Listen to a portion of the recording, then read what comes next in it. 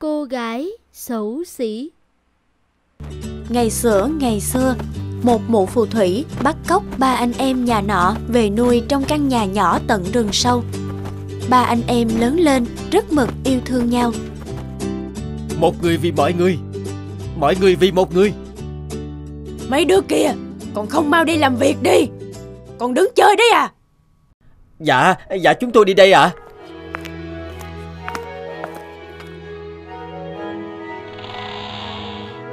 Otto Mày vào đây làm gì? Ra mau. Các anh bảo con vào nhà quét mạng nhện ạ Ra mau Không phải quét tước gì cả. Suýt nữa là lộ hết bí mật của ta. Đến lâu đài mặt trời vàng. À, đó hẳn là chiếc mũ thần trong truyền thuyết. Ai muốn đi xa đến đâu Chỉ cần đội mũ vào Trong nháy mắt là tới nơi rồi. Các anh ơi, các anh. Các anh ơi Mụ phù thủy đang giấu trong chiếc rương cổ, Một chiếc mũ thần. Đội vào là thích đi đâu thì đi, Nếu lấy được chiếc mũ ấy, Anh em mình có thể về nhà được rồi. Otto ơi, Làm sao chúng ta lấy được chiếc mũ chứ? Chiếc rương cổ được mụ phù thủy khóa đến những năm ổ khóa cơ mà. Đó là chưa kể đến việc mụ sẽ biến anh em mình thành động vật, nếu mụ phát hiện ra ý định bỏ trốn. Người biết suy nghĩ đấy, Nhưng quá muộn rồi. Ta sẽ biến các ngươi thành động vật ngay bây giờ. Đầu tiên là ngươi Đứa tò mò nhất bọn Otto, mau chạy đi. Anh Willy, Ai cha cha Yêu thương nhau gớm nhỉ Nhưng người không thoát khỏi tay ta đâu Otto, hãy giật lấy chiếc mũ rồi dùng phép thuật trốn đi. Chỉ có cách đó mới thoát được mụ phù thủy thôi. Ờ, Anh viết, Giờ thì không còn ai che chở cho mày nữa đâu Anh cả giờ là đại bàng Anh hai là cá heo Còn mày Tao sẽ biến mày thành con gì đây nhỉ đi đến. Mình biết đi đâu bây giờ. Đi đến lâu đài mặt trời vàng Đi đến lâu đài mặt trời vàng.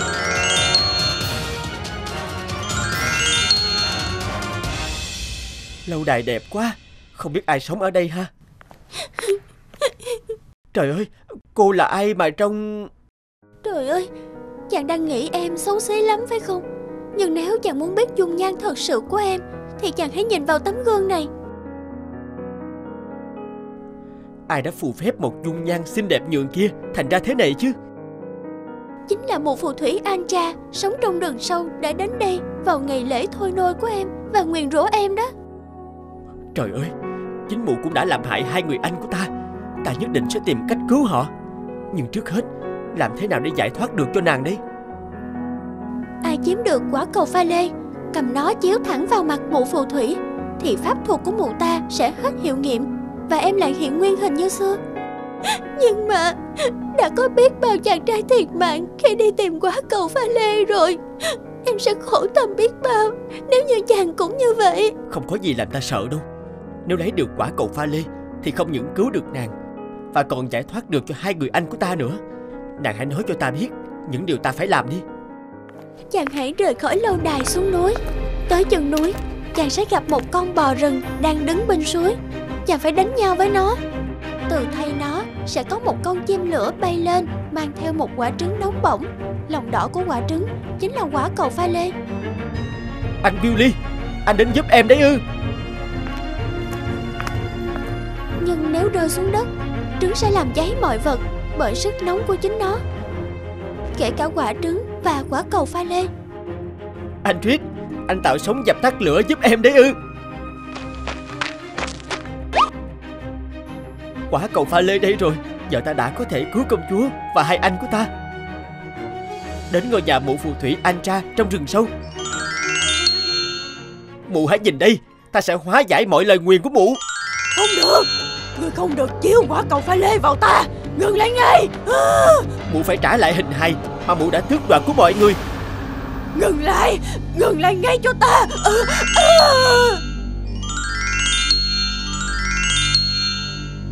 Công chúa Các anh Mọi người đã trở lại nguyên hình rồi. Cảm ơn em trai. Sao hai anh lại cảm ơn em chứ? Nếu không có hai anh em sẽ chẳng thể làm được gì hết. Một người vì mọi người, mọi người vì một người. Hai anh ơi, đây là nàng công chúa bị phù phép trong lâu đài mặt trời vàng. Em xin phép hai anh cho em được cưới nàng làm vợ ạ. À? Tất nhiên, nếu nàng bằng lòng chung sống trọn đời với ta, thưa công chúa xinh đẹp. Trời ơi, em út của chúng ta giỏi quá. Chúc mừng em.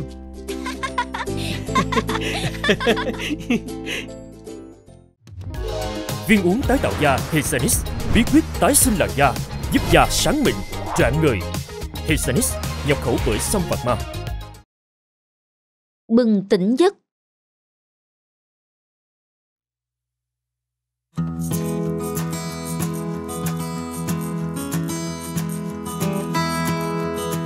Mẹ ơi, con đói rồi. Bao giờ bố mới về hả mẹ? Chi của mẹ ngoan, bố sắp về rồi con. Mẹ con mình cùng đợi bố về ăn cho vui nhé.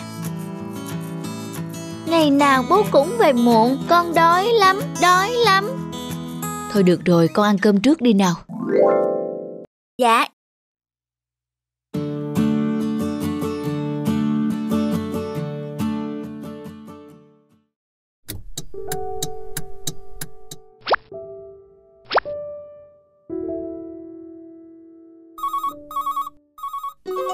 Số máy lạ à? Ai gọi vậy nhỉ? Alo, ai đó ạ? À? Tôi là Nhiên đây. Ai đó ạ? À? Ờ, anh đây. Anh... anh Tuấn phải không? em vẫn nhận ra giọng anh sao? Bao nhiêu năm rồi? Sao anh lại gọi cho em? Mà sao lại biết số của em? Anh đã hỏi mấy người bạn đại học mới xin được số của em đấy. Anh... anh muốn gặp em. Anh có chuyện muốn nói. Chuyện gì? Anh nói luôn ở đây cũng được. Bây giờ tôi đã có gia đình Và cuộc sống riêng của mình. Gặp nhau e không tiện. Xin em đấy. Anh mới được điều ra ngoài này công tác 3 ngày. Chỉ 3 ngày thôi. Em có thể gặp anh một lần Như những người bạn cũ được không?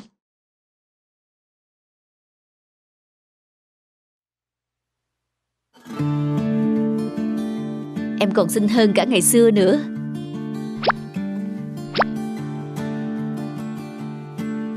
Cũng lâu lắm rồi không gặp nhau nhỉ? Chắc anh cũng đang có một tổ ấm rất hạnh phúc rồi. Anh... anh vẫn một mình. Thật sao? Tại sao? Thì... À, là vì anh vẫn còn nghĩ tới em Vẫn còn yêu em. Anh đừng đùa nữa. Giữa chúng ta đã không còn gì từ 10 năm trước rồi sau khi chúng ta chia tay, anh lao đầu vào công việc. Nhưng bây giờ anh phải thừa nhận rằng em luôn là người con gái anh nhớ tới nhiều nhất, yêu thương nhiều nhất. Chúng ta xa nhau là một sai lầm. Anh đã sai rồi, anh xin lỗi. Trên đường tới đây, anh đã chạy xe qua rất nhiều những con đường cũ. Anh nhớ những chiều chở em trên phố, ta cùng đi ăn kem, cùng đi nhà sách. Ở đâu cũng có hình bóng của em.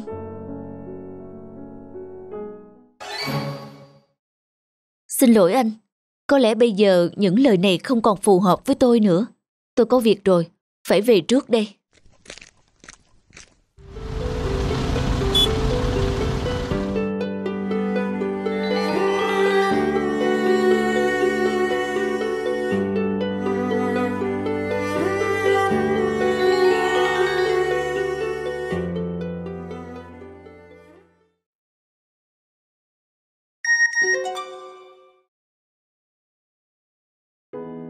Hôm nay là chủ nhật, em có bận gì không? Đến chỗ hẹn cũ nhé. Anh mời đi ăn. Có một nhà hàng mới mở rất ngon. Có nhiều món em thích đấy.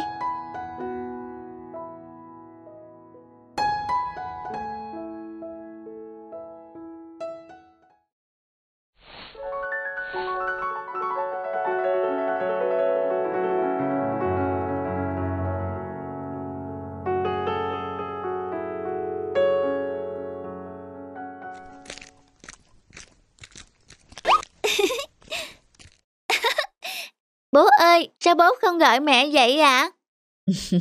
Vì bố muốn gây bất ngờ cho mẹ con. Mấy tháng nay bố đã bận rộn quá rồi.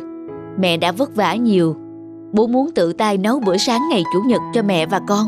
con có thích không? dạ con thích, con thích, để con lên gọi mẹ xuống ăn nhé bố. ừ, con gọi mẹ đi.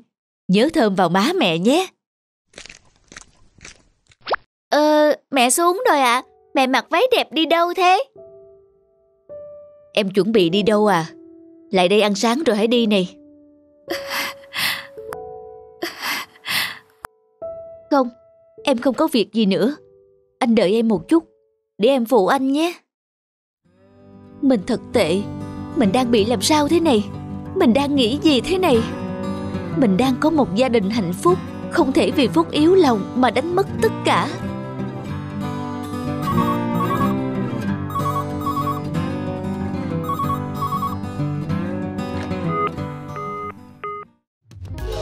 Viên uống tái tạo da Hesanis bí quyết tái sinh làn da, giúp da sáng mịn, trạng người. Hesanis nhập khẩu bởi sông Phạt Ma. Mẹ ơi!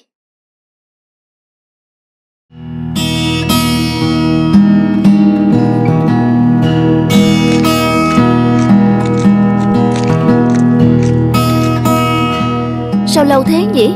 Đi xe chuyến ấy thì chỉ 4 giờ chiều là tới Sao giờ này vẫn chưa thấy đâu Mẹ! Nam!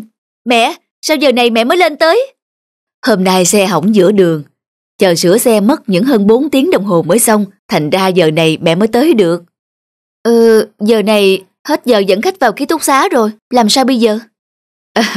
Không sao, Mẹ con mình ngồi tạm ngoài này cũng được. Nè, mẹ mang lên cho con lọ ruốc Ăn cơm bếp thì mang xuống ăn thêm cho đủ chất. Cả một lọ muối vừng nữa. Ăn cơm muối vừng thơm ngon lắm. Với lại, mẹ mang thêm một ít ổi vườn nhà mình. Con mời bạn bè ăn đi. Quà quê chỉ có vậy thôi. Con xin, có quà của mẹ, Chắc chúng nó sướng lắm đấy. Còn đây à, tiền học phí kỳ này, Với tiền ăn và tiền chi tiêu của con, Cất cẩn thận con nhé. Vâng con xin. Mẹ mẹ ăn gì chưa? Mẹ ăn rồi. Xuống xe là mẹ ăn tạm cái bánh mì rồi. Con đừng có lo. Hồi này học hành vất vả. Con hơi gầy đấy, Cố ăn uống ngủ nghỉ cho điều độ nghe con. Mẹ yên tâm, Con lớn rồi, Biết tự lo cho mình mà. Ờ kẻn gì thế con? Kẻn đóng cửa ký túc xá mẹ à. Hàng ngày cứ vào giờ này là ký túc xá đóng cửa, Không ra vào nữa để quản lý sinh viên. Ờ mẹ hiểu rồi, Thế con vào đi. Mẹ, nhưng muộn thế này rồi, Làm gì còn xe về, Phải tính sao đây? Con đừng có lo, Mẹ khác có cách. Mau vào đi không cửa đóng bây giờ. Mau đi con. Nhưng Không nhưng nhị gì hết. Đi đi con.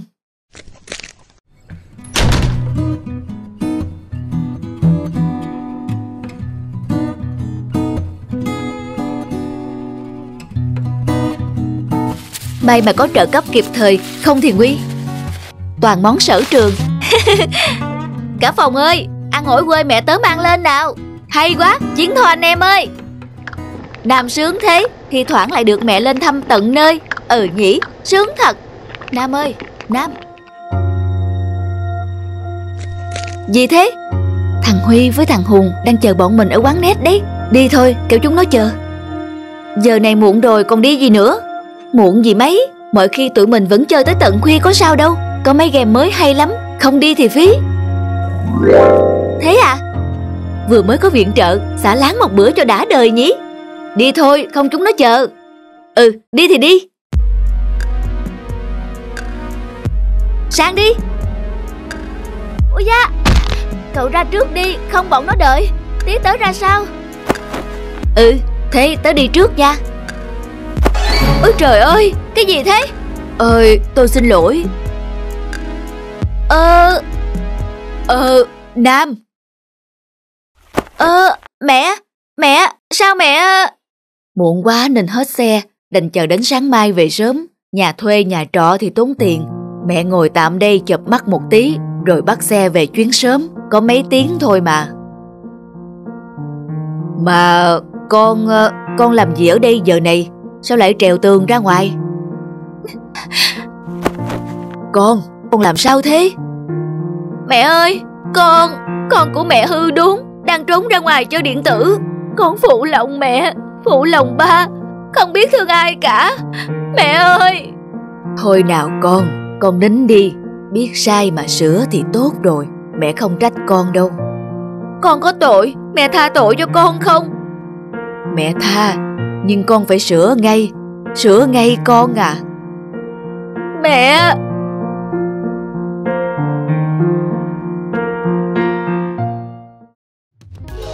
Viên uống tái tạo da Hesanis bí quyết tái sinh làn da, giúp da sáng mịn, trạng người. Hesanis nhập khẩu bởi Sông Phạc Ma. Người thợ cắt tóc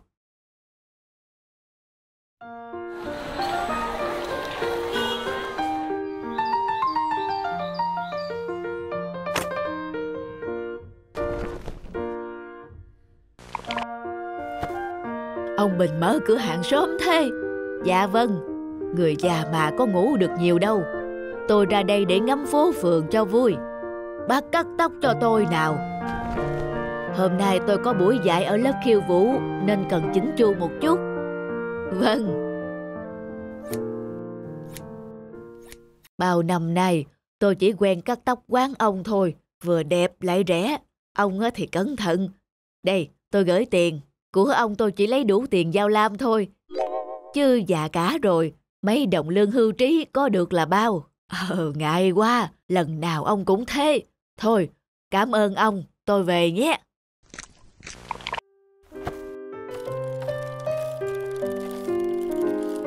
Cậu muốn cắt tóc hả? Bác, bác mua cho cháu chiếc xe đạp này được không ạ? À? Ờ, bác không có nhu cầu mua xe đạp. Sao cháu không đem ra cửa hàng mua xe cũ ấy? Bác thương cháu với Cháu lên thành phố kiếm việc làm mà chẳng ở đâu thuê cả. Giờ hết cả tiền ăn, Bần cùng. Cháu phải bán cái xe này đi. Đường xá cháu không thạo, Nên chẳng biết tìm chỗ nào bán cơ. Mẹ cháu ở quê đang ốm, Bác giúp cháu với. Cháu để rẻ cho bác, Một triệu à Xe còn tốt lắm, Bác dùng nó để chạy tập thể dục cũng được. Đây bác, Xe chắc chắn lắm. Thôi được rồi, bác sẽ mua. Một triệu có thừa một chút, cháu đếm đi. Cảm ơn bác. Khổ thân thằng bé.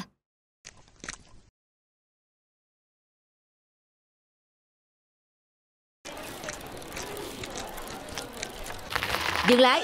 Trời ơi, nó đây rồi! Có chuyện gì vậy ông? Bác ơi, đây là chiếc xe mà tôi vừa bị mất cắp tuần trước. Sao bác lại dùng nó thế Trời rung rủi thế nào Mà tôi lại gặp lại nó thế này Đúng là may quá đây là chiếc xe tôi mua lại của một cậu thanh niên. Hóa ra Bác ơi, Bác bị nó lừa rồi, Tôi vẫn còn giấy tờ khi mua xe. Có cả số khung đây này, Vậy bác cùng tôi lên công an phường để xác minh nhé. Thôi được, Ta đi thôi.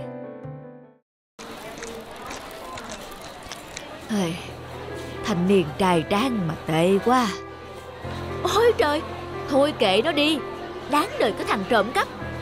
Chẳng phải kia là Chán lắm ông ơi. Thanh niên khỏe mạnh không chịu làm ăn gì, Lại còn dở thối ăn cắp. Cậu ta vừa định dắt trộm cái xe đạp Thì bị phát hiện. Người ta vừa đánh cho một trận đấy. Nghĩ cũng tội.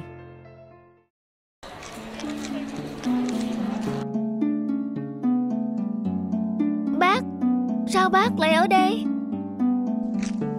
Ông ấy đã cổng cậu tới đây đấy. Bác ra đóng tiền viện phí đi ạ. À. Tất cả hết 4 triệu.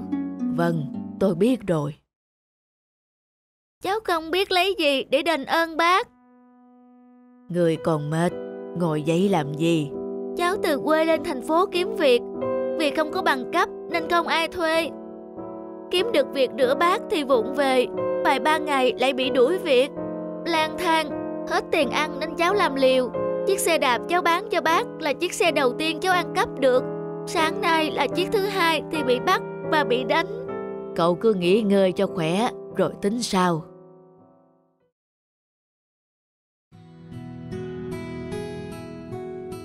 Giờ cháu định đi đâu? Chắc cháu về quê Lại về làm thuê cuốc mướn thôi ạ. À. Cháu nhất định sẽ trả lại bác đầy đủ Tiền, chiếc xe và viện phí. Nếu cậu không chê Thì qua tôi dạy cho nghề cắt tóc Nếu chịu khó, chăm chỉ Thì cũng nhanh thành nghề thôi Thật không ạ? À? Bác không chê cháu là thằng ăn cắp à? Ai chẳng có sai lầm Nếu biết sai mà sửa chữa mới quý Nếu không gặp được bác Cháu không biết đời mình sẽ ra sao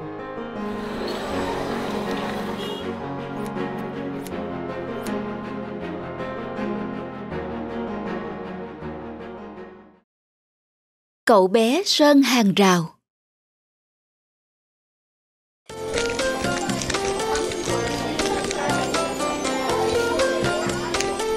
Cậu đã làm xong bài tập chưa thế? Hôm nay cô giáo kiểm tra đấy. Tớ mới làm một bài. Cho tớ mượn vở của cậu chép nốt đi Thiên. Lần nào cũng thế. Cậu nên làm bài tập cẩn thận ở nhà trước chứ. Tớ sẽ không cho cậu mượn nữa đâu. Không cho mượn thì thôi. Tớ viết mấy dòng vào Coi như có đầy đủ bài tập rồi. Lúc nào cậu cũng làm qua loa cho xong chuyện là không tốt đâu.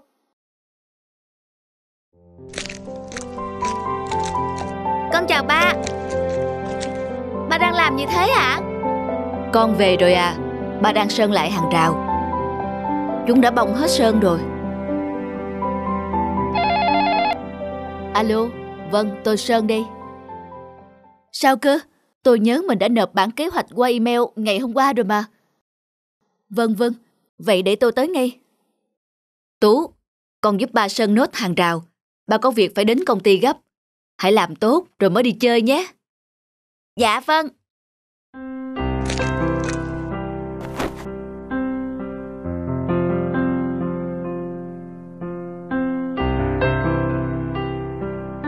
Vậy là được mặt bên ngoài. Tú, đi chơi bóng thôi. Không được rồi, hôm nay tớ phải sơn lại hàng rào. Hẹn các cậu mai vậy. Ơ, Hàng rào đã sơn xong rồi còn đâu? Phải đó, hôm nay đội mình đấu với đội xóm dưới. Không có cậu thì hàng tiền đạo thiếu người quá. Tớ mới sơn xong ở mặt ngoài hàng rào thôi, còn mặt trong nhà nữa kìa. Chỉ cần sơn ở mặt bên ngoài cũng đẹp lắm rồi mà. Thôi đi nhanh lên, không lại muộn giờ bây giờ. Nhưng mà... Nếu bây giờ tiếp tục sơn mặt trong, sẽ không kịp đi chơi bóng mất. Thật ra có ai nhìn thấy bên trong đâu Nếu không sơn thì còn tiết kiệm được chỗ sơn này cho lần sau Nếu vậy ba sẽ khen mình cho xem Hôm nay phải thắng một trận vẽ vang mới được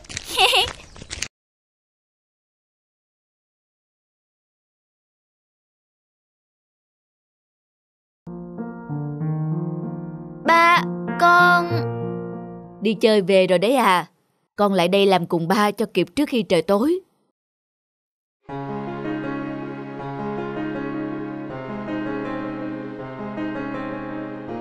Con trai, con thấy thế nào? Dạ, hàng rào được sơn lại rất đẹp ba ơi. Vậy tại sao lúc trước con lại không sơn hết? Dạ, con nghĩ sơn hàng rào chỉ cần sơn bên ngoài thôi. Vì mọi người đi bên ngoài nhìn vào. Còn mặt trong có ai nhìn đâu ạ? À? Sơn mặt trong thì chỉ túng sơn. Vậy mỗi khi cả nhà chúng ta ngồi uống trà trong sân thì sao? Chúng ta ư? có thể người bên ngoài sẽ không nhìn vào nhưng chúng ta làm đẹp ngôi nhà là để dành cho gia đình chúng ta cùng thưởng thức cơ mà bây giờ chúng ta ngồi đây uống trà nhìn ra hàng rào mới sơn đẹp đẽ sẽ thấy vui vẻ hơn là một hàng rào nham nhở phải không con? Dạ đúng vậy ạ. À. con trai của ba con hãy nhớ khi con làm một việc gì đó trước hết hãy làm nó vì bản thân con.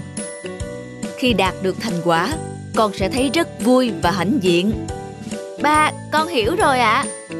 con trai của bà ngoan lắm. Giờ thì vào nhà thôi mẹ con đang đợi chúng ta vào ăn bữa tối đấy. Dạ con sẽ ăn nhanh để con học bài ạ. À. ừ đi nào.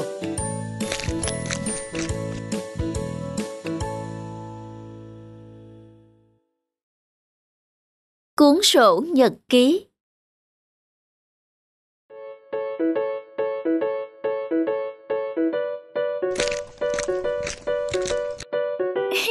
Chào chu Tao nhớ mày quá Cuốn sổ nhật ký xinh đẹp của ta Hôm nay có biết bao nhiêu chuyện xảy ra Ta sẽ viết vào đây đã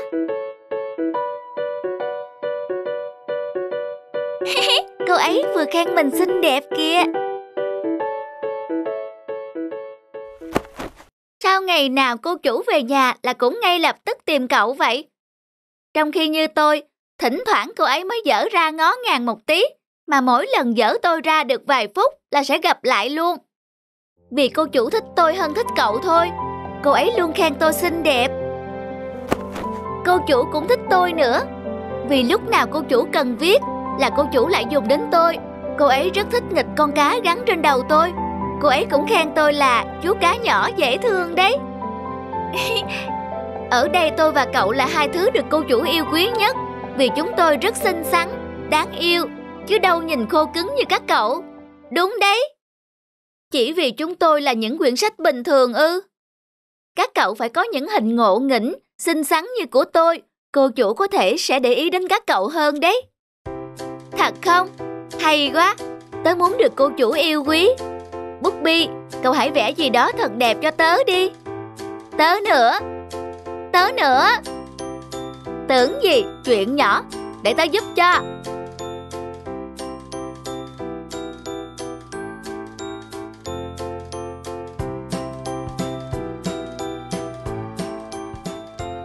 Vẽ vào cuốn sách của mình thế này? Làm bẩn cả cuốn sách của mình rồi.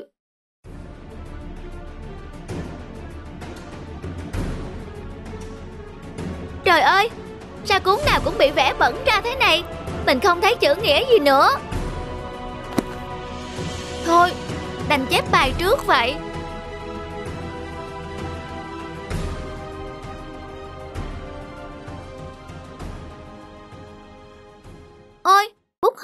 Rồi. Hôm nay là ngày gì thế không biết. Phải mua một cây bút mới thôi. Trời ơi, cô chủ chẳng hề yêu quý ai như chúng ta vẫn tưởng cả.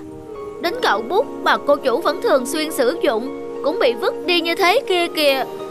Tôi cũng không muốn một ngày lại bị quẳng đi như thế đâu.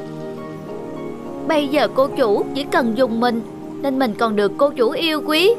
Đến khi cô chủ không còn cần dùng mình nữa thì mình sẽ phải làm gì đây? Mình chỉ còn vài trang giấy nữa là hết, không thể viết được nữa. Trước khi cô chủ lại vứt mình đi, mình nên rời khỏi đây thôi.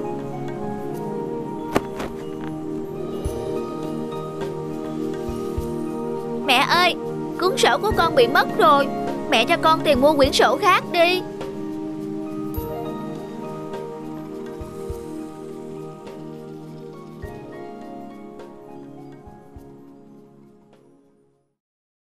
Nhiều năm sau.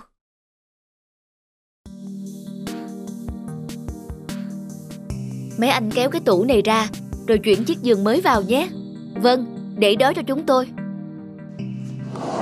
Ở đây có vật gì đó? Nhấc chiếc tủ ra xem nào.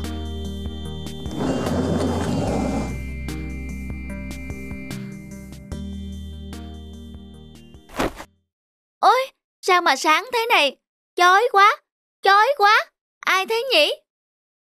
Đây hình như là cuốn nhật ký hồi bé của mình mà Là cuốn mình tưởng đã mất Là... là cô chủ sao? Trời ơi, cô chủ tìm thấy mình rồi. Cô chủ sẽ lại vứt mình đi mất. Lần này thì mình sẽ bị vứt đi thật rồi. Ôi, những trang tuổi thơ ngây thơ quá Không ngờ ngày xưa mình nghịch ngợm như thế này Khi xưa, bạn bút còn mới, đẹp như thế, mà còn bị vứt đi. Bây giờ mình đã trở nên bụi bặm, xấu xí, nát tươm thế này, thì cô chủ chẳng thèm giữ lại đâu. Ôi, khi xưa mình đã viết bao nhiêu cuốn nhật ký Thế mà mình chẳng giữ lại cuốn sổ nào Giờ đọc lại, thấy những kỷ niệm ngày xưa lại ùa về Đấy là những khoảnh khắc đáng nhớ trong tuổi thơ của mình Mình phải giữ lại cuốn sổ đáng nhớ này mới được Ôi, cô chủ, cô ấy không vứt bỏ mình nữa ư?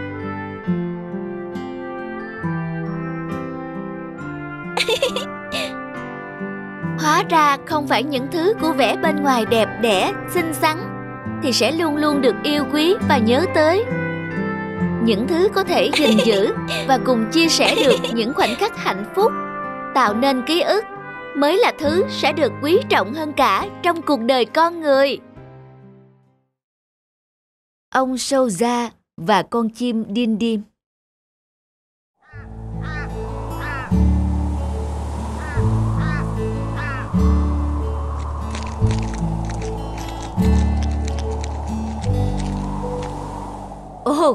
Có một con chim cánh cụt dạt vào đây này mọi người ơi. Người nó bị phủ đầy dầu kìa, Chắc chẳng sống nổi nữa đâu. Thôi, ta về đi. Trời sắp bão rồi, Không nhanh là không kịp chạy bão đâu. Đi thôi các bác ơi. Có chuyện gì thế mọi người? Có con chim cánh cụt bị phủ đầy dầu, Đang hấp hối ông à. Khổ thân mày. Bị dầu tràn trên biển phủ lên đây mà. Kệ nó, Ta về thôi ông sâu ra Trời sắp bão to rồi. Ông mang nó theo làm gì? Nó sắp chết rồi mà. Tôi mang nó về rửa dầu cho nó. Biết đâu lại cứu được. Để nó nằm ở đây, Lát nữa bão tới, Nó sẽ chết mất. Ôi trời, Chắc gì đã sống được mà cứu chứ. Còn chút hy vọng tôi cũng cứu. Ông đúng là Rỗi việc quá đấy. Sẽ không sao đâu. Chim bé nhỏ, Đi về nhà nào.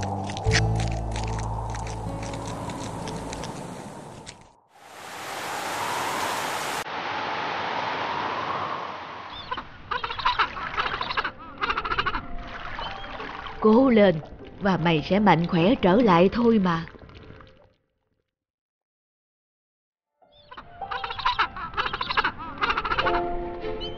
Ờ, đi ăn nào. Mày sắp đói lả đến nơi rồi. Ăn nhiều cho nhanh khỏe nha, chim nhỏ. À Tao đặt tên cho mày là Đin Điềm nhé. Đin Điềm bé nhỏ.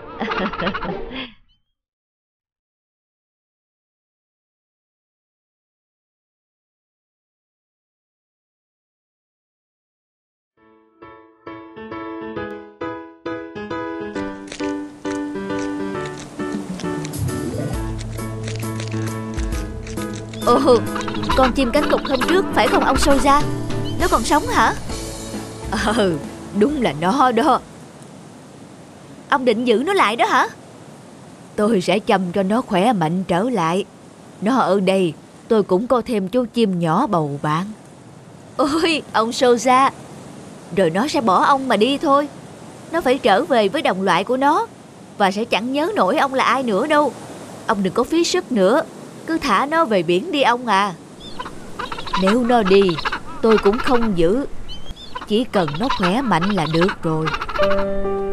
Và tao sẽ nhớ mày lắm đó. Đinh điềm bé nhỏ. Ai, Ông sâu ra thật ngốc. Nó chỉ là con vật xa lạ Ở tận đâu đâu thôi mà. Thật là phí sức. Rồi thì nó sẽ bỏ ông ấy đi thôi.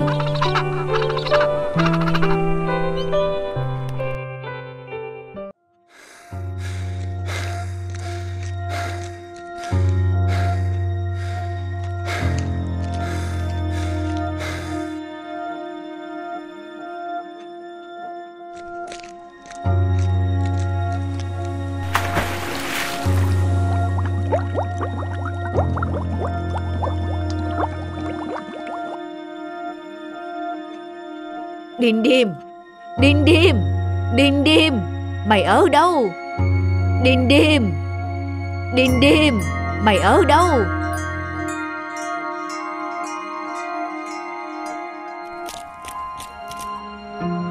Nó đi thật rồi. Sao ông lại đứng đây một mình thế này? Con Đinh Điềm đâu rồi? Nó đi rồi. Nó đi thật rồi. Đó. Tôi đã bảo mà, Rồi nó sẽ chẳng nhớ ông đã cứu mạng nó đâu. Mà cũng phải, Mày phải về với biển khơi chứ, Đó mới thật sự là nhà của mày. Nửa năm sau.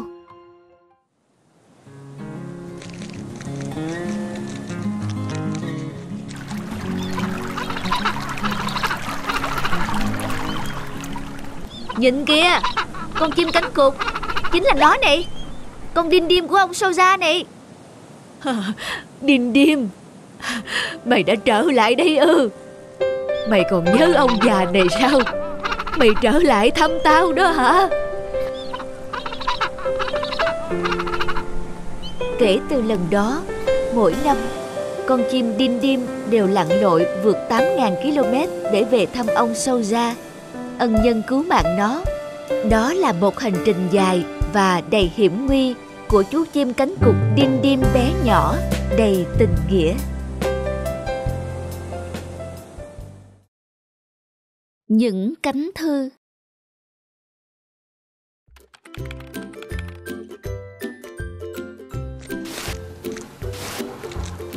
Hùng ơi, có thư này. Thế à? Cháu có thư à? Của cậu đây. cháu cảm ơn bác. Lại có thư của em yêu đấy à, nhất cậu nhé. Tớ hai tháng nay chưa nhận được thư rồi. Ừ, thế nào lần sau cũng có. Thôi, tớ ra kia ngồi nghỉ tí đây. Anh xa nhớ, anh vẫn khỏe chứ. Ở quê mình đang vào mùa gặt, anh còn nhớ mùa lúa mới, mùi rơm rạ không? Mỗi lần đi qua cánh đồng lúa chín, em lại thấy rất nhớ anh.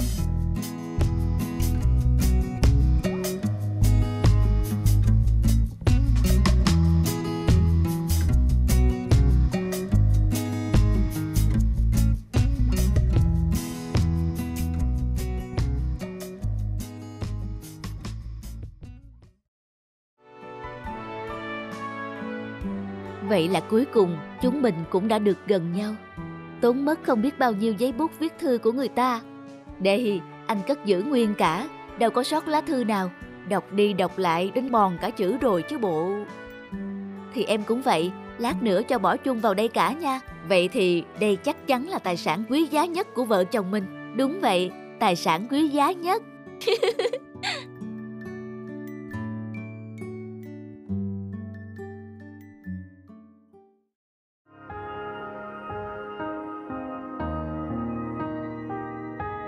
Anh, anh nhớ làm việc và nghỉ ngơi hợp lý, đừng làm việc quá sức nha. Sang bên đó thời tiết lạnh, anh nhớ phải cẩn thận, giữ gìn sức khỏe anh nhé.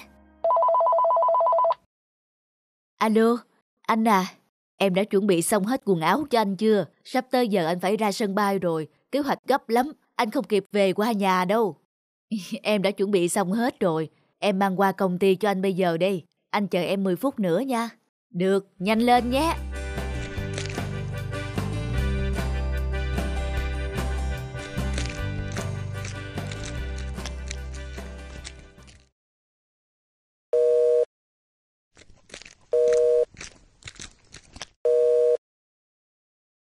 Sao không thấy bắt máy nhỉ? Alo, anh đây. Anh, anh đến nơi an toàn rồi chứ? Sao không thấy điện về cho em? Mà em gọi năm bảy cuộc cũng không thấy trả lời, làm em lo quá. Anh tới lâu rồi, nhưng bận bắt tay vào công việc ngay. Vừa mới đi ăn tối về tới phòng, giờ mới được ngã lưng xuống giường một tí. vâng, anh tới nơi bình an, công việc thuận lợi là tốt rồi. Mà anh đã đọc thư của em chưa vậy? Em lại còn viết thư cho anh à. Anh bận tối mắt tối mũi. Thời gian đâu mà đọc thư? Với lại có công việc gì á, Thì nói qua điện thoại luôn cho nhanh. Thư với chẳng từ làm gì? Ờ... thôi, anh cướp máy nha. Ngủ sớm để sáng mai còn minh mẫn giải quyết một đống công việc nữa. Thế nhé. Dạ.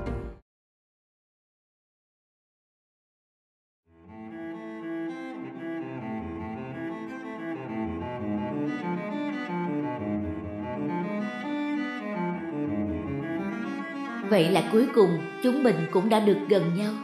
Tốn mất không biết bao nhiêu giấy bút viết thư của người ta. Đây, anh cất giữ nguyên cả, đâu có sót lá thư nào. Đọc đi đọc lại đến mòn cả chữ rồi chứ bộ.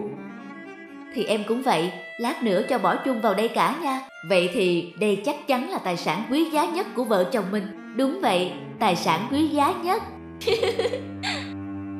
Em lại còn viết thư cho anh à. Anh bận tối mắt tối mũi. Thời gian đâu mà đọc thư? Với lại có công việc gì á Thì nói qua điện thoại luôn cho nhanh. Thư với chẳng từ làm gì?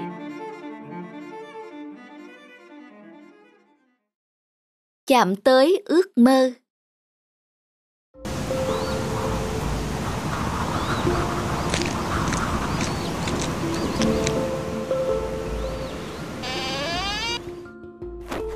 Boss, Cậu về rồi đó à? Bố cậu có khỏe không? Cảm ơn cậu Bố tớ khỏe.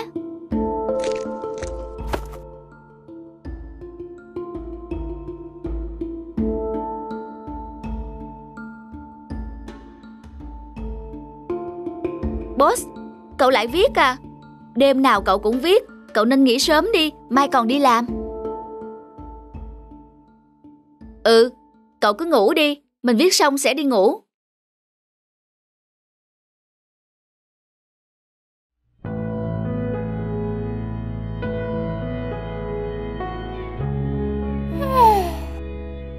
Boss, cậu có vẻ mệt mỏi đó.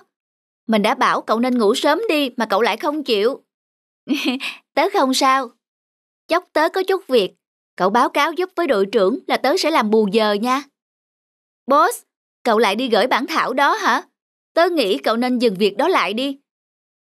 Cậu xem, đã bao lần bản thảo của cậu bị trả về với những lời vây bình. Vậy mà cậu vẫn ương bướng vậy sao? Thật nực cười, với trình độ học chưa hết lớp 5 mà cậu dám mơ tưởng trở thành một nhà văn sao? Đúng là mơ mộng. Có lẽ nên đặt cho cậu cái tên Boss Mơ Mộng.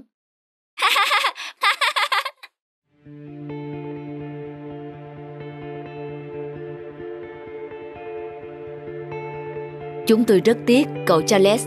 Tác phẩm của cậu quá nhàm chán, nội dung thì lan man, mà không có kịch tính. Chúng tôi không thể sử dụng tác phẩm của cậu. Tôi có thể sửa nó, chắc chắn sẽ không thể khá hơn. Xin lỗi cậu.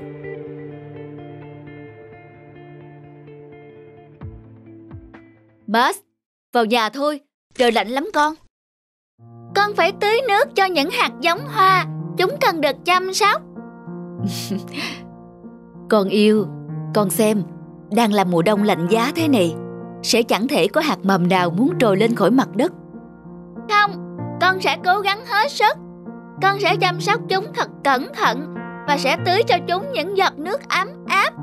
Con tin luống hoa nhỏ của con sẽ mọc lên và nở kịp vào ngày Giáng sinh. Lúc đó, con sẽ có những bông hoa đẹp nhất tặng cho mẹ. Con trai, hy vọng sự quyết tâm của con sẽ có kết quả. Một cậu bé cứng đầu, giống mình vậy. Rốt cuộc những kẻ cứng đầu luôn là những kẻ nhận thất bại. Mẹ ơi, mẹ ơi, con đã thấy những mầm nhỏ nhú lên. Chúng đã nảy mầm, chúng đã nảy mầm. Con biết những bông hoa sẽ không phụ công con mà. Phải rồi, chỉ cần mình cố gắng, mình cũng sẽ đạt được mơ ước của mình. Cậu có thư nè. Các cậu ơi, tớ có thư của tòa soạn này. Boss, cậu đọc đi cho bọn tớ nghe. Đúng đó, đọc đi boss. Gửi Charles, chúng tôi đã nhận được bản thảo của cậu. Ý tưởng của cậu khá thú vị. Tuy nhiên, sẽ cần phải chỉnh sửa đôi chút. Hy vọng cậu sẽ dành thời gian để tới tòa soạn. Chúng ta sẽ trao đổi thêm về vấn đề này. Tuyệt vời, chúc mừng cậu nhé. Đúng là trời không phụ công người. Cuối cùng thì tác phẩm của cậu cũng đã được thừa nhận. Tớ, tớ phải đến tòa soạn. Ý tưởng của cậu khá thú vị. Khá thú vị. Cuối cùng thì tác phẩm của mình đã được đón nhận.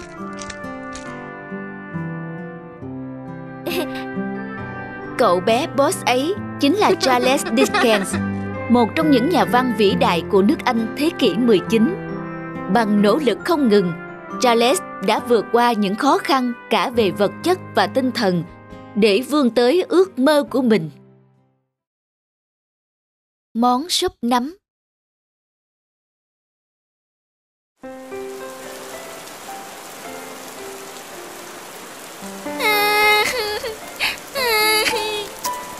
Hình như có tiếng ai đang khóc đâu đây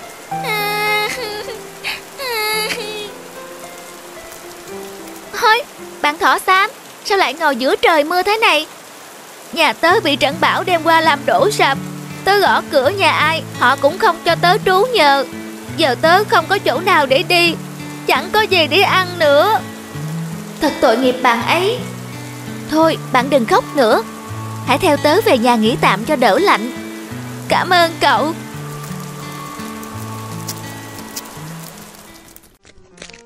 Thỏ xám ơi Mau ăn đi cho đỡ đói. Cảm ơn cậu.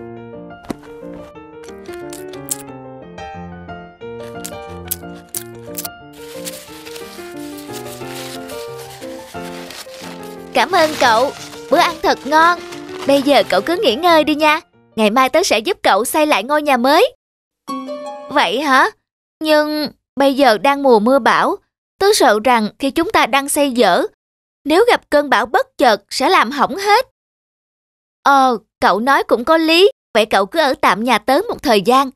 Đợi trời tạnh ráo, chúng ta sẽ bắt tay làm nhà cho cậu nhé. Vậy thì tốt quá.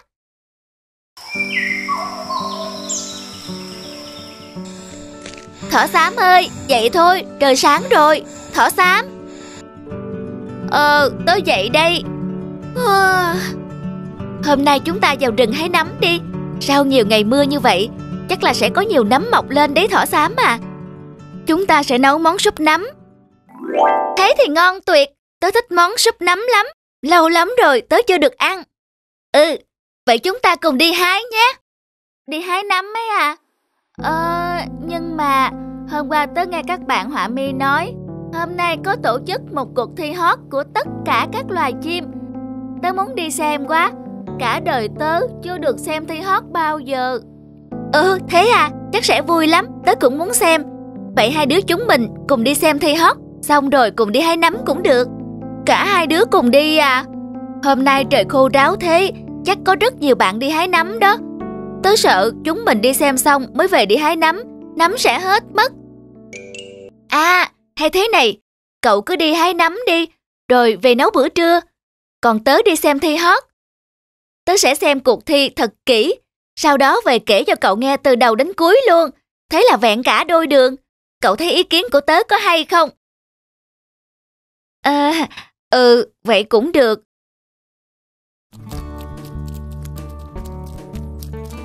La la la, la la la la la la.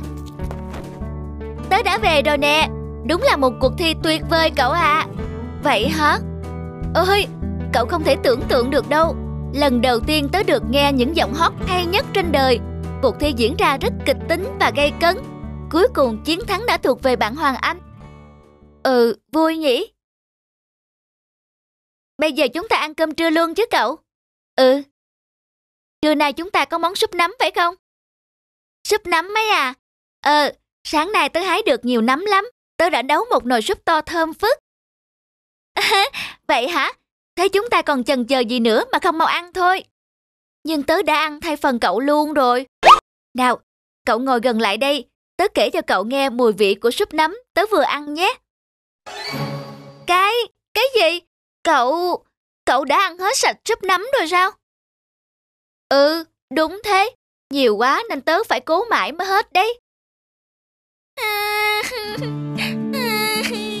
Cậu, sao cậu có thể làm thế? Cậu thừa biết là tớ rất thích súp nấm mà. Ừ, tớ biết mà. Thế nên tớ đã ăn thật từ tốn, cảm nhận hết vị ngon của món súp để còn tả rõ cho cậu mùi vị của nó đấy. Cậu thật tệ, kể cho tớ nghe thì được gì chứ, phải được ném nó cơ. Thế sao cậu lại không để cho tớ đi xem thi hót cùng cậu, rồi chúng ta cùng đi hái nấm? Cậu nói cậu sẽ xem, rồi về kể cho tớ nghe đấy thôi. Ờ, tớ, tớ... Thỏ xám mà, chúng ta sống trên đời. Nếu cậu đối xử với người khác thế nào, người ta sẽ đối lại với cậu như thế. Vì thế, trong bất kỳ hoàn cảnh nào, chúng ta hãy đặt mình vào vị trí của người khác. Không nên chỉ biết đến mình cậu ạ. À. Ừ, tớ, tớ, tớ xin lỗi cậu. Tớ biết mình đã quá ích kỷ. Thật ra tớ chưa ăn súp nấm đâu. Tớ chỉ đùa lấy cớ để nhắc nhở cậu thôi. Tớ tin cậu đã biết mình phải làm gì rồi đúng không? Tất cả mọi người rồi sẽ yêu quý cậu, thỏ xám ạ. À. Cảm ơn cậu, giờ tớ đã hiểu ra rồi. Nào, chúng ta cùng ăn súp nhé. Ngày mai tớ bắt tay làm nhà, cho tớ xây nhà cạnh nhà cậu nhé. Đồng ý, tớ sẽ giúp cậu dựng một ngôi nhà thật đẹp.